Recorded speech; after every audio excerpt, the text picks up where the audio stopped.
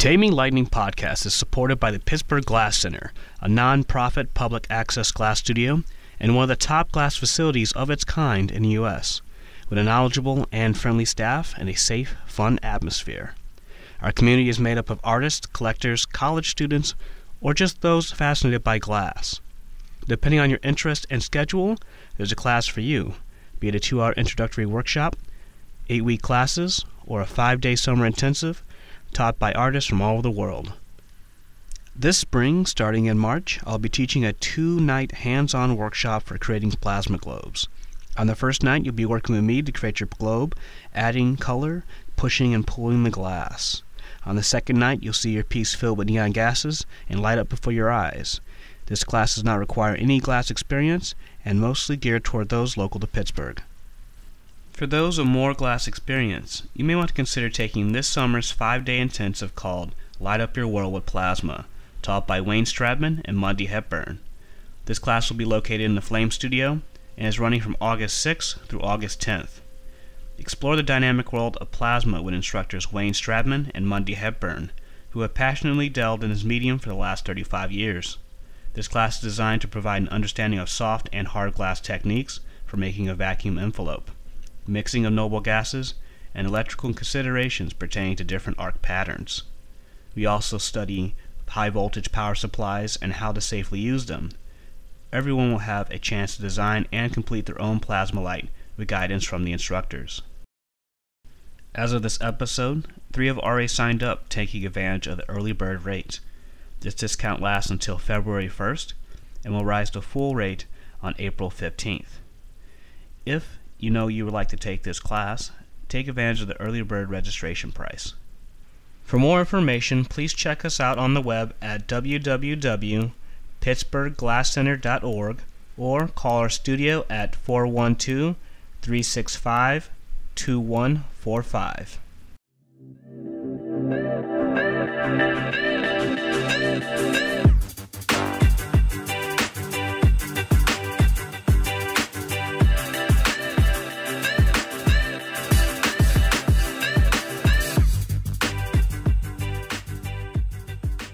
Welcome back, or welcome to the Taming Lightning Podcast. I'm Percy Eccles II. I'm the creator and host of Taming Lightning, as well as the emerging neon lab tech at Pittsburgh Glass Center, where I'm researching and developing a space for exploring plasma and neon light. Taming Lightning is an educational blog and podcast about the art, science, and history of plasma and neon light, looking beyond its associations with novelty in sign making and to explore the potential of rare or noble gases by learning about those that use them. We'll be talking with artists, makers, and researchers, each guest offering their unique knowledge and experience. The intro is Boost by Joakim Karud. Joakim is a Swedish artist who loves to produce chill and happy music, and does so for copyright free use. Be sure to support his music by giving credit when used, subscribing, and or by donation on Patreon. You can find him on Facebook, Twitter, YouTube, SoundCloud, and Spotify.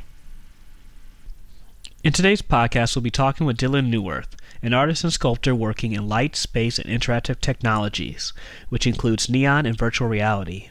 His work is autobiographical, with light being embedded in his personal narrative. A custom made neon sign with his mother's name in red cursive letter, Blade Runner, and David Bowie's Space Oddity are a part of his origin. Like many artists, light is a beacon, a place to return to, or something to reveal the darkness we cannot bear to look at. His work expands on themes that may include early memories of alienation, subconscious violence, and systematic addiction through the use of digital cultural motifs. Dylan is the creative director at Western Neon and Western Neon School of Art, which just opened this year, offering classes to the public, offering the process of neon for artists, hobbyists, and students. Dylan will talk about his role at Western Neon, challenges that come with neon, and classes and the future of Western Neon School of Art. Dylan and I were introduced to Dani Kaes, who is a neon apprentice at Western Neon. Though we officially connected through Instagram, we have briefly crossed paths while she was staff and I was a student during a summer workshop at Pilchuck Glass School, the origin of my interest in plasma and neon. So I'd like to thank Dani for connecting us, and perhaps we'll have her on a future podcast. Here we have with us today is uh, Dylan Neuwirth. Am I saying your last name correctly? That is correct, sir. And uh, so before we begin, can you tell us a little about yourself and uh, what do you do? Yeah, I'm a um, an artist who works with uh, light, space, and interactive technologies. And, um, I am from Athens, Georgia originally, and have lived in the Pacific Northwest since about 2000. And my work is um, essentially autobiographical in nature, and I work with uh, noble gases such as helium, neon, argon, krypton, and xenon, and as well as digital um, mediums like virtual reality and uh, online interactive uh, experiences to um, figure out what this world is all about and, and, and who I am and, and, and, my place in it. And uh, hopefully my work speaks to other people as well. Uh, I also um, have most recently become the creative director at Western Neon, which is uh, one, one of the West Coast uh, the premier custom sign builders as well as uh, uh, creates custom artwork for artists working on public pieces or um, small scale components for their uh, for their work. And uh, I've been working with Western Neon for over 15 years as an artist myself, uh, fabricating my work um, alongside them and uh, a core team of, of, of, people I work with to execute uh, my work and whether it's public art or or, or for exhibitions. And um, most recently, we established Western Neon School of Art, uh, which is a nonprofit educational institution that uh, supports uh, our our collective interest in light and space and uh, interactive technologies. Cool. So, so what is it that um, what do you do as a creative director? Um, well, it's it's it's it's kind of many things. Uh, to, to be honest, uh, one one one of the main things that we wanted to focus on was that uh, Western Neon was established by um, two brothers, uh, Michael and Jay Blazek, in the in, in, the early '80s in Seattle, and the purpose of of that was they wanted to start a um, a gallery to display light work and to display work in neon and, and to display uh, uh, people who are interested in all the different avenues that go with the go with that medium called neon because I mean it's called neon, but it's there, there's just so much more to it. Uh, whether artists are working in um, explorations and investigations that are working with plasma and blown glass, or um, using different noble gases to make work that um, essentially is all about light. So uh, we understand that blanket term neon is to include all the different ways in which artists have used the basic technologies of the medium to um, to make their work. So what we wanted to do was kind of um, well, as Western Neon started as a gallery, it eventually morphed into a sign company because the Blazeks um, needed to generate um, cash.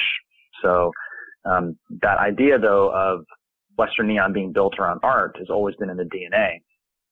Um, so I was with the Chihuly studio for 10 years as a project manager, and uh, essentially my job was to um, literally travel the world and assess sites that would be viable for Mr. Chihuly's work and work with uh, designers and architects and engineers uh, and artists within the studio to realize large scale works. Um, so we sort of saw an opportunity to take Western Neon's um, ethos, the core idea about art, and um, invigorate, reinvigorate uh, the business and kind of combine all those pursuits. Um, so for us, we really wanted to you know, stretch out our, our uh, um, all the different assets that we had and all the different talents that we had amassed over the years, and that Andre, the owner, had put together to realize new opportunities for the business. So um, sometimes I'm visiting with architecture firms and design firms to educate them on um, what the possibilities are for working with the medium from um, architectural or design based approaches, or just to sort of um, show them the power of the medium. Because I think if you've been in this medium for a long time, is there's just cycles in it where it's it's it's popular and it's it's it's, it's everywhere and it kind of goes away for a little while, then it comes back. But I think in the last five years, the surge in the popularity of the medium has gotten out of control.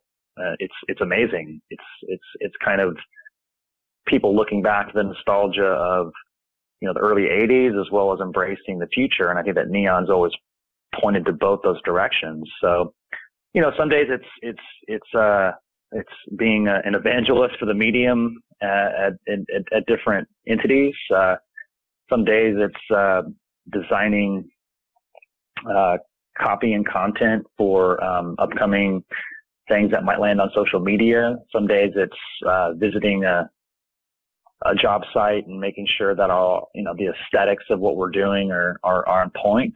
Um, some days it's uh, ripping out drop ceilings and, and, and bad 80s carpet to uh, establish uh, a, potentially a, a, a, virtual reality area where we can set up an Oculus Rift uh, and Google Tilt Brush program um, at Western Neon so we can better envision a project. Um, mm. Know, some days it's literally sweeping a parking lot because we've got some clients coming and I want to make sure that we look um, we look tidy. You know, so it's it's a lot of different hats uh, that eventually all pointed towards um, one of the main goals, which is establishing the school. Nice.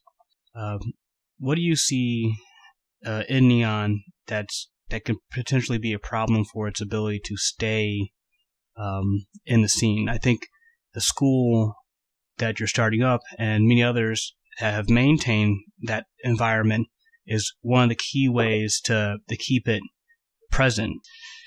No, I know. I mean, I, I, I kind of know what you're pointing at. I mean, I think I, I, I think with um, well, it's it's it's a lot of things. I mean, you you're sort of uh, pointing toward a lot of things. The I think one of the main things about Neon um, is that it is, in essence, uh, as far as I'm concerned, one of the original, if not the original, digital medium. I mean, it's a it, it, it the technology that is used to express work in the medium really hasn't changed since you know, 1898. You know, uh, uh, the the infrastructure to make it more efficient might have changed, but the way in which glass tubes are um, produced, the way in which glass tubes are shaped, um, or glass volumes if they're blown glass, and that gas is put into that volume under in, in a vacuum and electrified. That hasn't changed that much, but I think that what's exciting about that is, that that idea of putting gas in a glass volume and under a vacuum and electrifying it, you know, that that technology gave rise to the vacuum tube and the cathode tube. And the vacuum tube was the first way that we uh, stored memory on a computer uh, in the 50s by lining up electrons on either side of the tube uh, in a pattern of ones and zeros. It led to the cathode tube, which was the first way that illuminated the screen uh, for us to view data. Um, the, the, experiments that um, were, were, taking place in the early 1900s to fire particles at photographic plates and looking at their divergence that eventually morphed into the particle accelerator.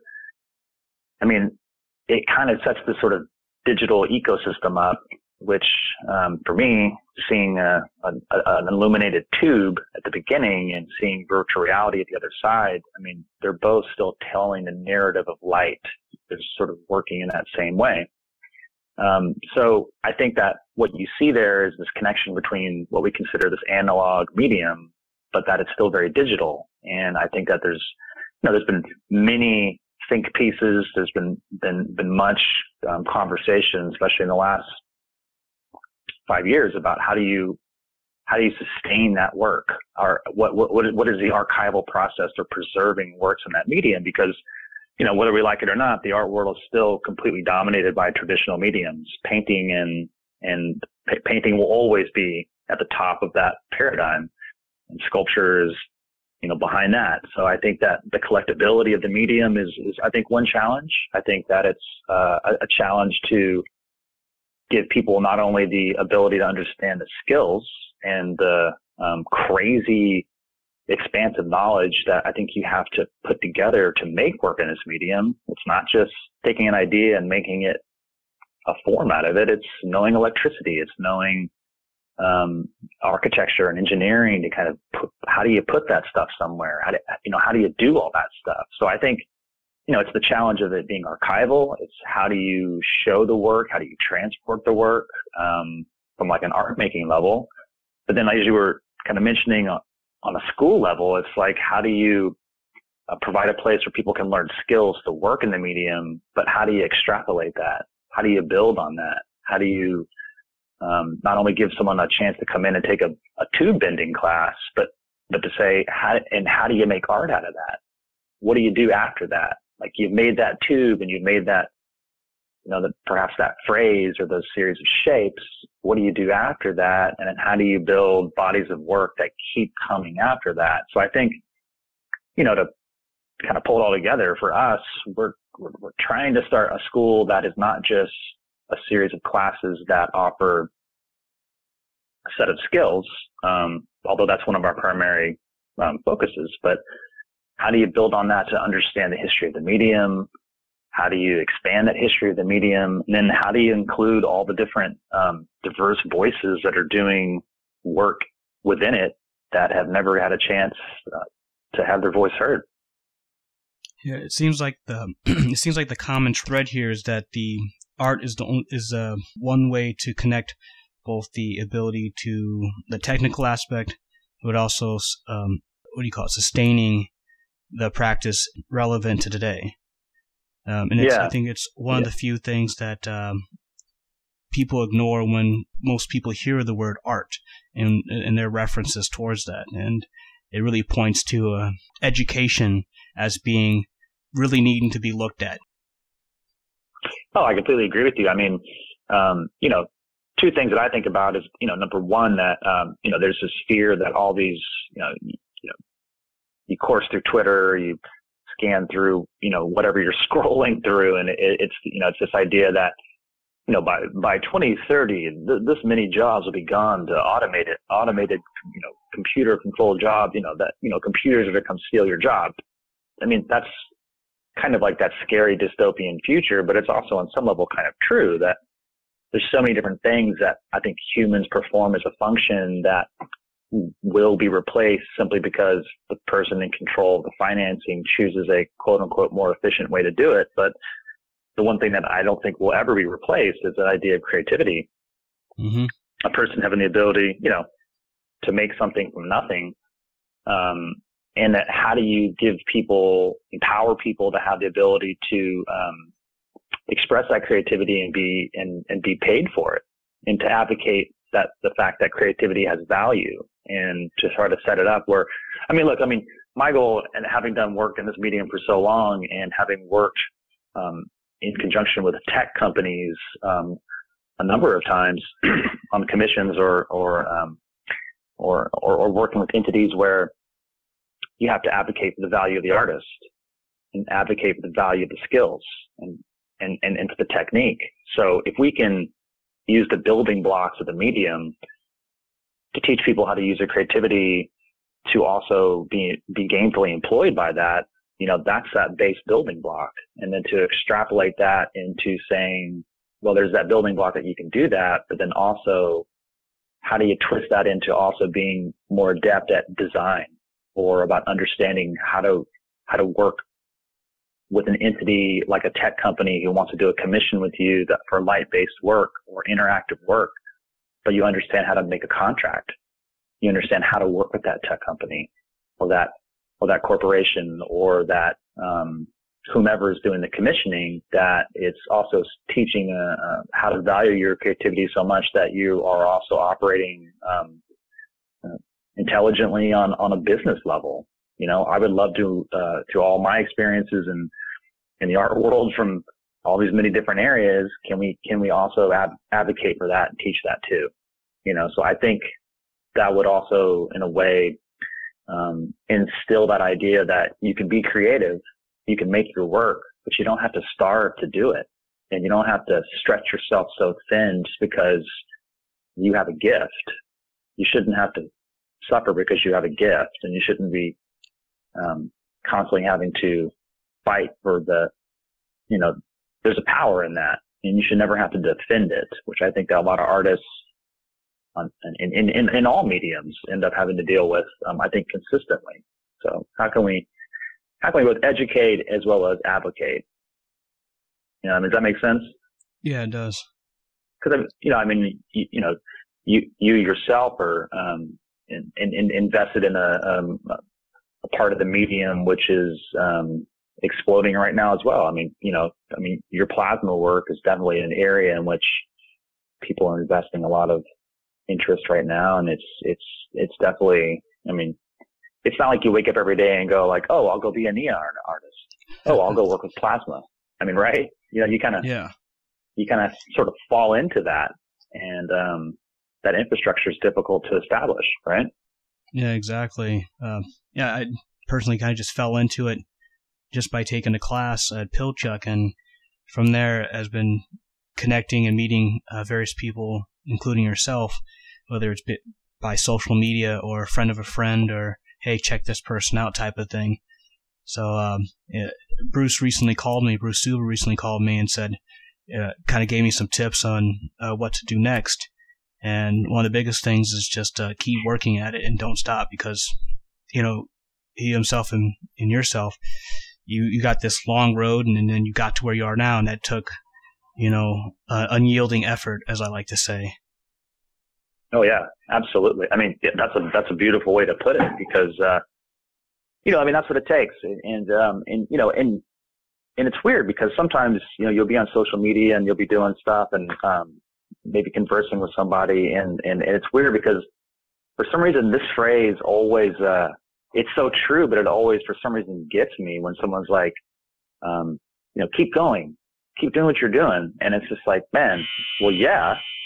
I mean, yeah, I'm going to keep doing what I'm doing, but it's like you, you hear that. And at the same time, you, in some ways, it can be bristling because to keep doing what you're doing and to have that unyielding um, drive, you know, you will find yourself constantly through life grinding up against so many different things because to maintain that sense of, you know, passion and drive, it, it, uh, it, it, it can be all consuming, um, mm-hmm. which I think it needs to be, uh, for you to get where you're going. And I think what's insane about that and what's also beautiful is that if you have that drive and that passion, which you have, uh, you know, Percy and, um, all the different people who are doing so many killer things, you all you you also always don't know where you're going, which mm-hmm. can be insane, right? I mean, yeah, you keep driving, you keep grinding, but it's like someone could be like, well, what do you, you know, like somebody who's kind of on the on on the peripheral, they're like, well, what do you, what's your goal in three years? And it's like, well, hey, I know, but I don't exactly know, mm-hmm. you know, and that can be crazy to people because they're just like, well, because you know most people live on these sort of tracked lives Mm-hmm. Like, you know, I'm going to work three years. I'm going to get this and then I'm going to go, uh, then I can apply for this job and then I can, I can buy the house and then we'll have a vacation in three years and we're going to have two kids in five years. And you're just like, what are you talking about, man?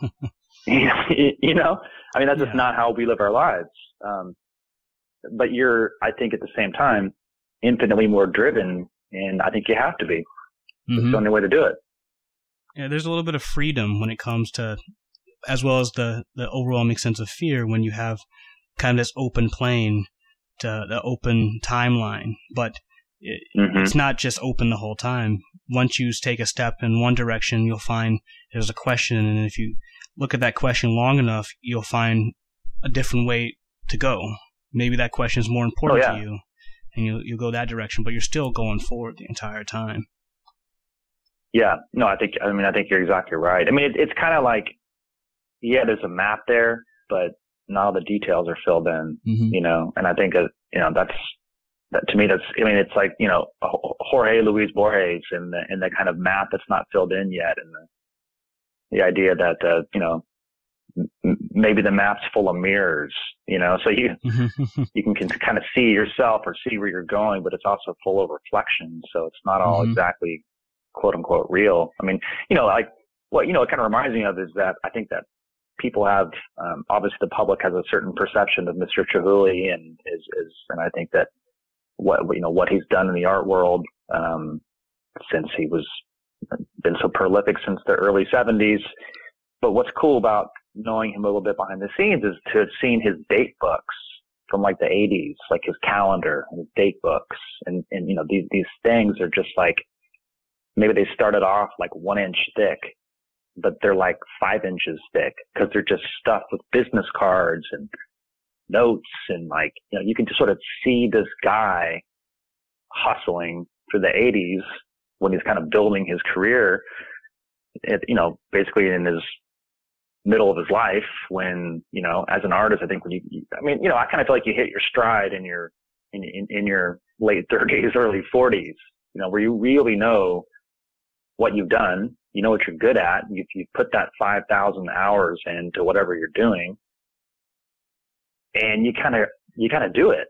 And it's kind of mm-hmm. cool to see that like, even talking to him, he's just like, yeah, I didn't really know what I was exactly doing, but I was doing it. You know, you know, it's, it, it's inspiring. Yeah. Speaking of Chihuly, there was some, uh, you know, of course, there's always an air of, uh, we call it, I can't even think of the word right now, but I guess in general, when it came, comes to Dale Chihuly, most people, um, kind of scoff at his, uh, at his fame a little bit, uh, mainly by the process in which he, uh, has his work made. And, um, right and I'll admit initially I was uh, like that until you know a couple years into glass blowing where I was like, it doesn't it doesn't matter because uh, if we look at glass and, and you're working in a, a, group in a setting where you need multiple people to help you get stuff done because it takes multiple hands and, and people with special skills, then it doesn't matter because the ability to come together, uh, despite perhaps some personality bumping, uh, is what really is it's all about when you can come together and collaborate. Everyone has a specific oh, I mean, job ab- and you take pride. Absolutely. I mean, I mean that's that's that's that's literally kind of that's kind of where I'm at now these days. Is that like um, you know, it's not exactly about. I mean, the project's always important. Like what's going mm-hmm. on with what's going on with the work, but what's more important is the people.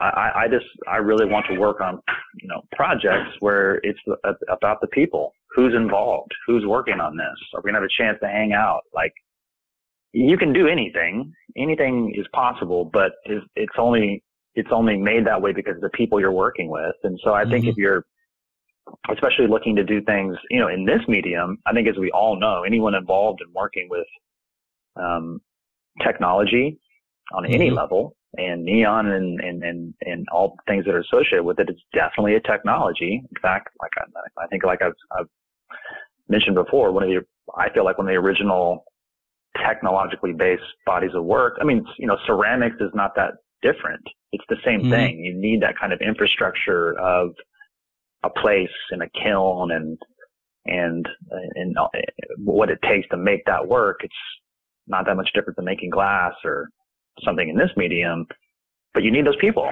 and you need that kind of sense of teamwork to make something bigger than what you were thinking, as well as I think if you go in there with the idea for something, you may not come out of that studio with that idea, right? Mm-hmm. I mean, it might mm-hmm. fail, especially yeah. when you're making work in, in glass. It doesn't always behave what the way you want it to, right? Mm-hmm. I mean, it just, yep. it just doesn't. So I think that's that's also a pretty cool thing. Uh, so let's take a, a, turn back to the school, if you don't mind. Yeah, uh, of course. So, as you're starting out um, with the classes, what's the format like, and what are the classes uh, kind of geared up at the moment? Well, um, we our, our our first our first offering is um, opening on January 23rd, and it's Introduction to Light-Based Media, and uh, excuse me, uh, what the what the class essentially is. It's taught by um, Kelsey Fernkopf, who is uh, a, a, technician and um, uh, essentially one of the a master glass bender. Um, he's been in been in the medium for 30 plus years, and uh, he he has a he has a, a, a touch with the glass like it is is very rare. Um, you know, he is one of those guys that can have the blowhose in his mouth and, and, and be bending and talking and hanging out at the same time. And the next thing you know, there's this piece. You know, that's just, that's just, and he's, he's very generous with his energy and time. So, um, he, uh, he learned from Fred Elliott, um, who was his mentor. And, um, also Fred Elliott studied with Dean Blazek, who was the father of the two sons, Michael and Jay, who started Western Neon. So Kelsey's legacy in the medium is goes very deep, and so he is teaching the skills uh, for our first class, and I will be also co-teaching with him to um, talk more about the history and more about the um, conceptual approach to working with the medium. Um, so literally you got like a six week class and um, it, it, it, covers uh, you know the, the curriculums focused on um, each class goes into a history or theory part of the medium and then the rest of the class is focused on skills and um, we were uh, uh, happy to see on uh, Friday actually yesterday that um, we got um, five of the of the original uh, fires that were at the um, at, at Dean's School in the 70s. Um, Exciting. From Wisconsin. Yeah. So we kind of have these legacy fires that taught over, I believe, 700 neon benders from around the world, um, from the 70s to the 80s. And now we have them at Western Neon. So, um, that first class literally focuses on that. Just here are the basic building blocks of this medium and um, you get some open studio times on Saturdays in between. And um, our hope is to build off this uh, to, you know, literally offer this to if you're just a, you know, a novice who's just like, hey, I want to check out the medium. Um, you're a working artist who wants to incorporate this into your practice, or you're someone who's worked with it for many years and you don't have access to a facility. You know, this is what we're, this is for you. So that's kind nice. of the focus. Is it like a, a one one day a week type of course? Yeah, it's um it's on uh, this this first class is on Tuesdays uh, from six to nine p.m. and then and that's for six weeks, and then you've got um, the four open studio Saturdays to come in and and practice and work more independently uh, mm-hmm. with a technician available. Uh, do you guys uh, have a, a, focus for a uh, your your prime? You have a primary audience. Are you reaching out to the colleges, or uh, how how young are are you looking to jump in? There? Is there like a high school type of thing that you may be doing in the future? Yeah, no, it's a good question. I mean, we we we kind of um, eh, I'll say that we are very um, we are very focused and directed on what we're doing in the future, as well as it's all happening very fast. We we got together this summer, and um, the stars kind of aligned for um, me to be uh, uh, you know available, and uh, had, had had left the Chihuly studio to focus on some personal projects, and then um, Kelsey was was back from a, a number of travels, and, and Andre at Western Neon was like, "Hey, I think it's time we do this." So the class got going so fast that we filled up the first class uh, literally 48 hours after we posted it. Um, most some people over the years who had expressed interest in taking a class, or um, Kelsey had been teaching classes at um, Pratt School of Fine Art, um, which is a, a local Seattle um, uh, crafts school. Um, so we had a, sort of a, a, pocket of people who were interested, and that filled mm-hmm. up very quick. Um, at, at, this point in time, um, our goal is to, um, you know, our cutoff is 15 years old. So if right. you're 15 or above, and of course you sign a waiver with your parent or guardian if you're under the age of 18, that the class is available. Um, we have some potential partnerships opening up in the summer of 2018 where we're um, working with a local uh, uh, art and culture nonprofit in Seattle that's pretty well known to incorporate uh, a satellite high school class for 2000, I hope 2018, could be 2019, um, where mm. students can come from a local high school and as an elective class um, study with us to because um, I mean there is a big initiative in Seattle right now, which is really cool.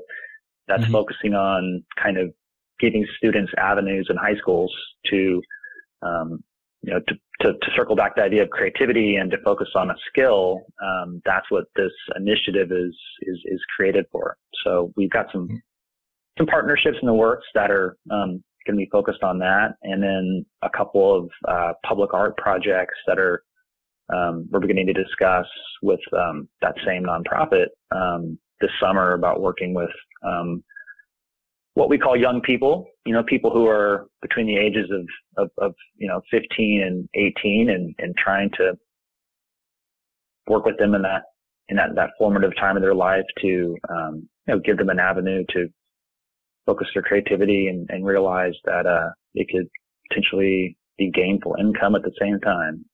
Mm-hmm.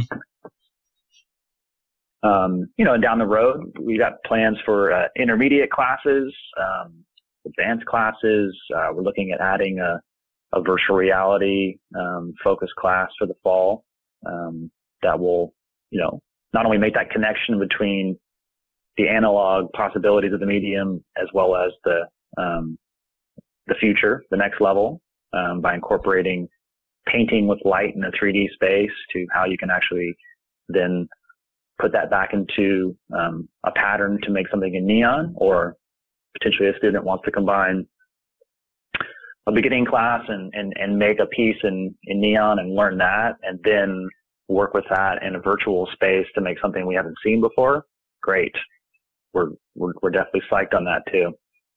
Yeah, this is really exciting. You're, this is just the beginning and there's so much stuff that's going to be happening down the road and I'm excited to see how that runs. Um, uh, especially, uh, I think you had hinted at something about whatever whatever timeline down the road you got uh, resident artists that can come in and kind of explore the medium.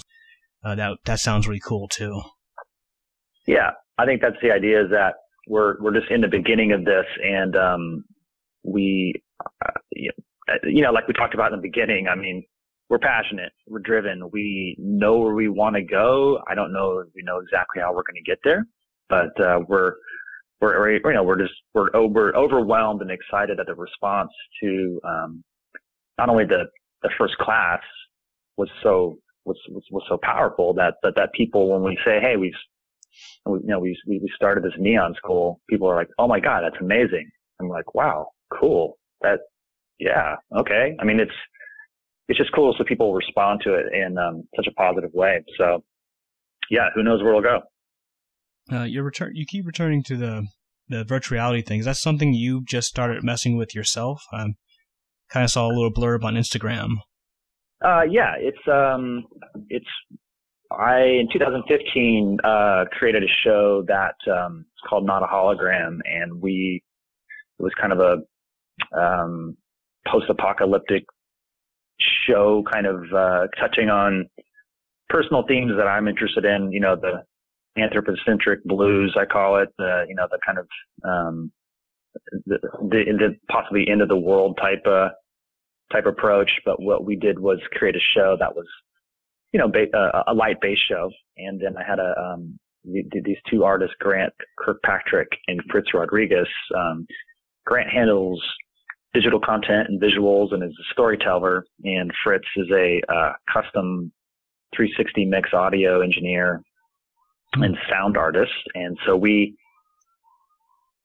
just kind of, you know, got together and, um, I don't know how we all met, but we just sort of, you know, met up and, um, created a virtual reality version of that show that you could then, um, cause I'm, I'm always interested in that, you know, that idea of how do you make something portable? How do you make this medium, which is so dependent upon infrastructure and installing tubes and, and elements somewhere, how do you get people to see that who can't be there? So I know my dream was to turn the show into a virtual reality piece that then you could just share online.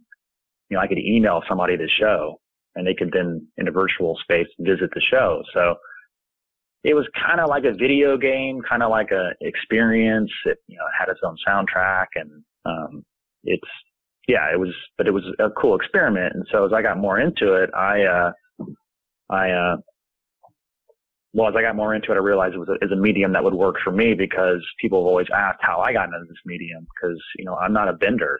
I didn't get into this medium like a bender or a technician or, um, apprenticing at a glass shop or something like that, or however, however anybody gets into the medium. I, I got into it a completely different way. So, uh, it, it, became a tool for me to uh, reimagine this this very formative past and to recreate uh, a, a, series of memories uh, with this wonderful medium um, virtually. So I work with the same guys and um, really fell in love with that technology and what its capabilities are, but was also realizing that when I when I when I got into Tilt Brush, which is the Google program that allows you to paint um, or draw in a 3D space, I was just like, oh my god, this is like just like working in neon or, or light.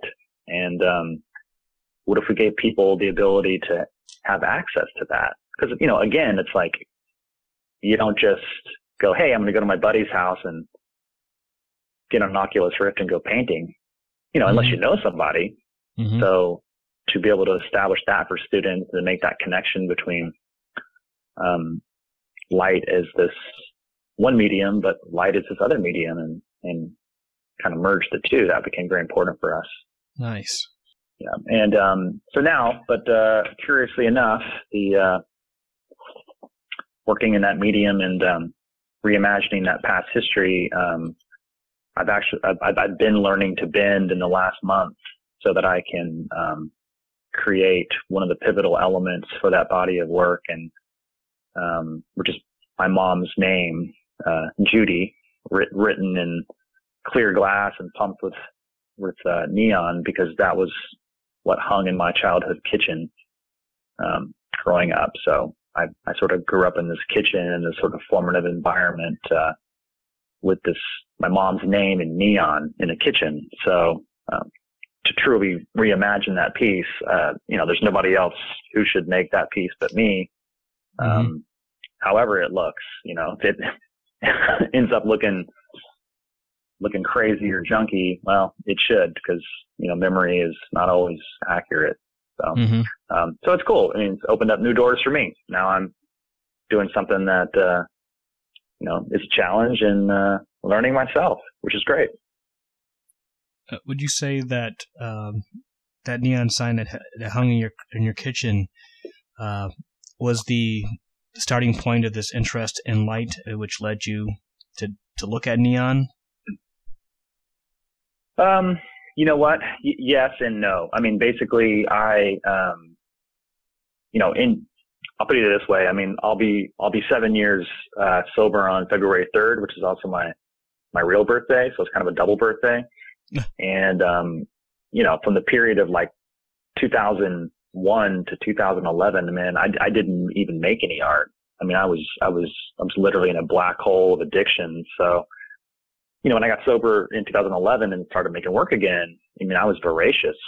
I was driven and I mean, I still am, but it was kind of like making all these bodies of work and making so much of it over and over and over that, you know, people are like, why do you work in this medium? Or like, what's up with neon? Or like, are you a bender? And, you know, I always felt in some way kind of weird that I wasn't a bender, but I worked in this medium like compulsively. And so it just kind of took me a while to realize, oh, wait a minute.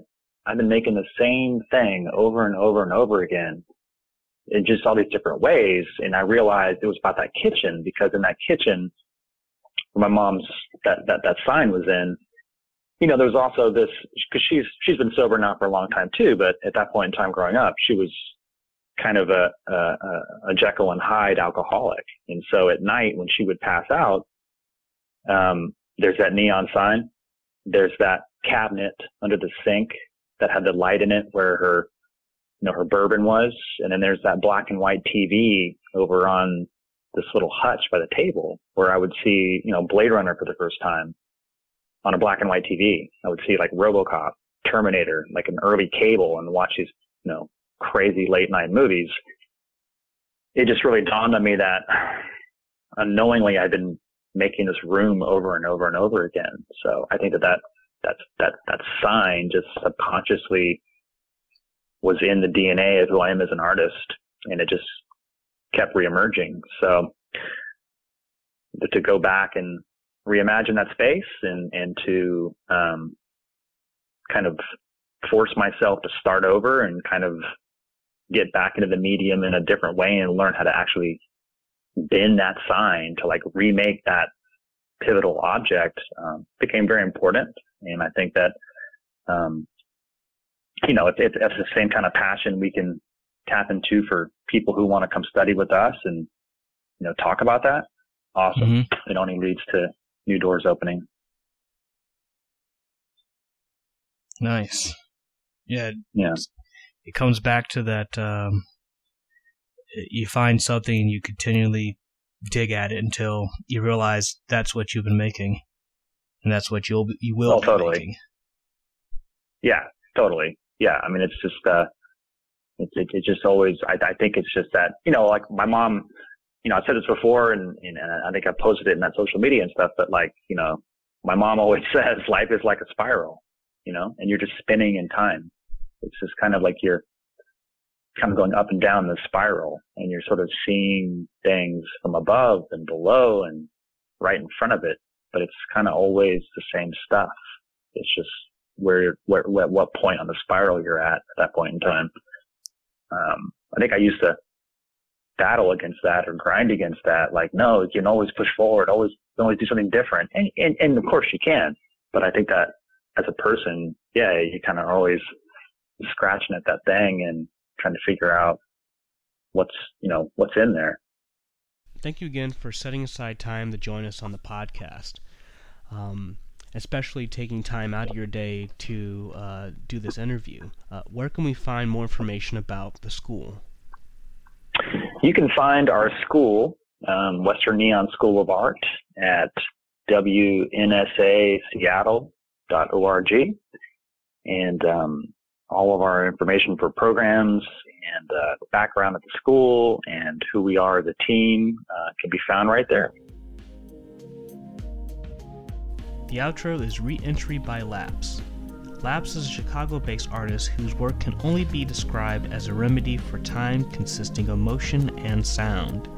If you give his music a listen, you'll understand exactly what that means. Check out his music on Facebook, SoundCloud, YouTube, and Bandcamp. Thank you for listening to the Taming Lightning podcast. I'd like to thank Dani Kaes for connecting me with Dylan Neuwirth and Western Neon, and Dylan for taking the time to be on the podcast. While we did touch up on his work, I highly recommend going to his website and looking through all his artwork and writings. And I hope to have him on a future podcast to talk about a few things I've been thinking about since our initial recording.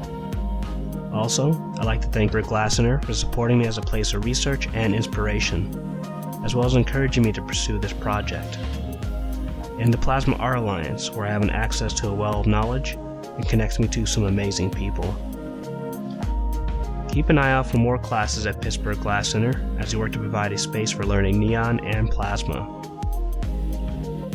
For more information on workshops and summer intensives, please check us out on the web at www.pittsburghglasscenter.org or call us at the studio at 412 365 2145. If you'd like to support the podcast, simply go to taminglightning.net and click subscribe. Later, there will probably be other options in the future, but for now, like, share, comment, and subscribe. See you next time.